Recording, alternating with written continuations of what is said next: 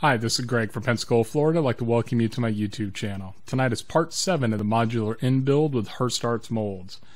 Uh, last week when we left off, I had done the uh, pre-assembly of the Hobbit room, and uh, I showed you the blocks. They were unprimed and everything was unassembled on there. I said it was going to be a pretty basic build, which it was. It was going to be your standard 3x5 floor, and just these, you know, four sections of pieces right here. We had the uh, the circular wall, oh, we had the circle, and then we were going to put the uh, what looks like the the door opening in, and then uh, these other three panels on there. Well, the build went together relatively quick. It wasn't too bad. I've got the finished product right here. pull it over on screen. We'll see if we can do better tonight with keeping things centered. So this right here is the front. This is the uh, door we put in. Now, he said you do have to sand this down, which I had to sand this down quite a bit. Um, I've got a handheld Dremel, so I just went around it. So I had to take more off this than I thought I would at the beginning, and I'm glad I didn't have a piece of sandpaper doing this, or it would have taken a long time. The Dremel made pretty quick work of it. Uh, it wasn't too dusty getting the stuff off, so that wasn't too bad. But here's the door. I painted it with uh, the earth tone painting method, but I used all three highlights and then I used uh, bolt gun metal for the metallic pieces on the front.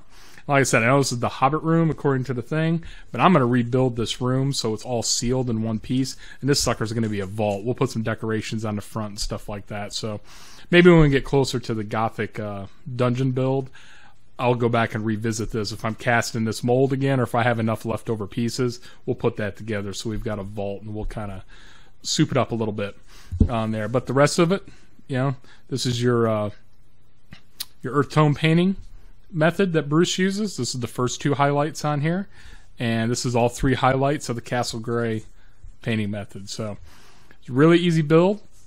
Wasn't too much to it, and uh, came out rather quick. So then I was talking about we were going to move on to the after the Hobbit room was building the bar. Now, when we left off on the video, all I had so far done was this one piece right here.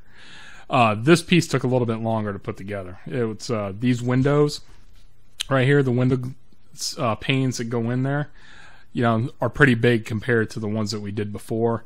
You got the two side wings over here, which weren't too bad. This is where the bookcase was. So when we left off on that last video, I had done this wall right here, and we had done I had this setting up because I just glued it and I showed the bookcase that was going to go into here. So that was the bookcase that I had and that it snapped right in. And then down here we had a big giant arch.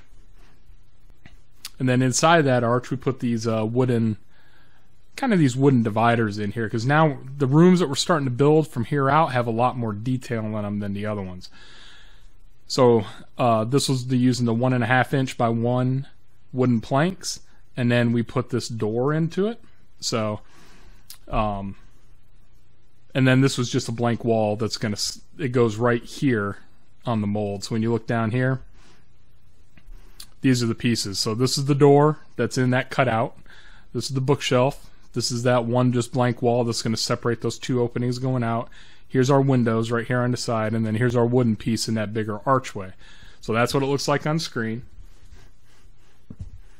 And I'd like to say that the completed piece looks pretty close to what's Bruce had on his screen. So I'm going to go around the outside of it, show you all four sides, and then we'll talk a little bit about the inside. So right here is the side with the uh, with the windows.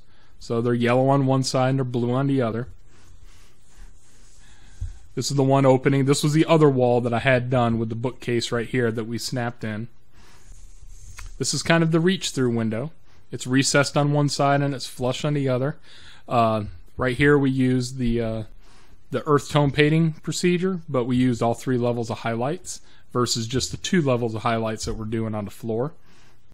And over here is those wooden pieces that we put in here. These required a little bit of sanding down, not nearly as much sanding as the uh, the Hobbit room did. And then here's that standalone wall with the two exits going out of the room. All right, and then if I can show you in the room, you can see over here we got the blue windows on the inside. We've got the uh, the bookshelf right over here, and I'll start adding stuff to these bookshelves and things like that. So we'll put stuff in there. On this side, this is where the door is. Now this is where it starts getting a little different. Um, Bruce doesn't, you know, do the painting instructions for in here, you know. So some of the smaller furniture we're putting together, it's not part of the plan. So when we start decorating these rooms, I'll make sure to shoot videos of doing the tables, of painting the tables, of putting everything together that's not part of the plan that helps accessorize inside of this modular inn.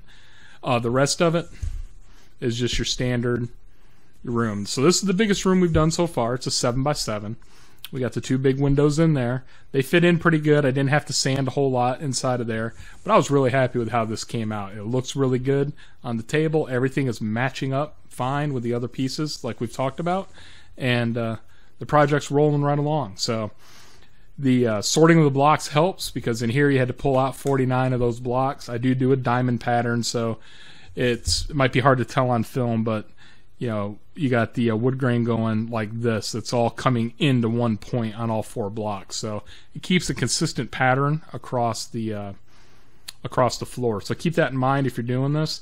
That you want to keep a consistent pattern going across. You don't want blocks going every which way because it might pull your eye different, you know, with the floor tiles all in the same pattern like that. I think it'll keep your eye looking at the whole piece versus focusing in on some anomaly in the floor on there.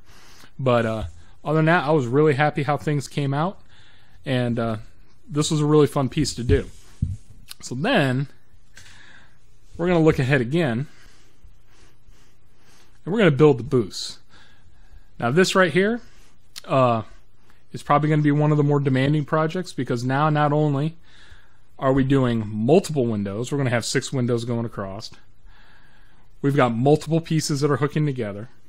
Now we're going to start adding accessories. So I'm excited to start this. I'm excited to look at these tables, to do the booths, because there's no really painting instructions for this. So now this is kind of a little bit where I get to figure out, or you get to figure out how you want your stuff to look and start setting the color scheme for your inn and with the furniture and the accessories.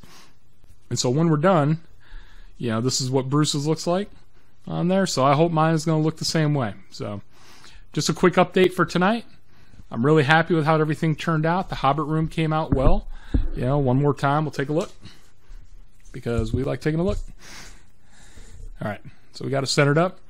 We got the door on there. Remember, just be anticipate you're going to do a little more sanding than you think you're going to do when you first glue this together. Um, I think the bolt gun metal on top of this color brown really looks good. I still have old GW pots of bolt gun metal. I know there's a, a new replacement color in their new line, but it'll look the same. Any any of these uh, metallics with a hint of black in them on there will look pretty good.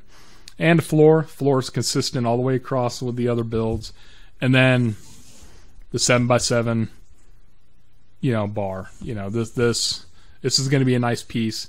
I think this will be sitting right, you know, in the middle of our of our inn um, you know, we're going to have multiple levels. You know, when we get to the third sheet, you know, we're still on the second sheet of the build right now. So when we get to that third sheet, we're going to be able to sit there and start adding levels higher if we choose to because we're going to build two different style, styles of risers you know so rooms that are inside the dungeon, maybe sitting up like this, and then we're going to have rooms that are going to be exterior to the dungeon. They'll be on another level, and we're going to build those stairs coming up. So, I thank you for watching the video tonight.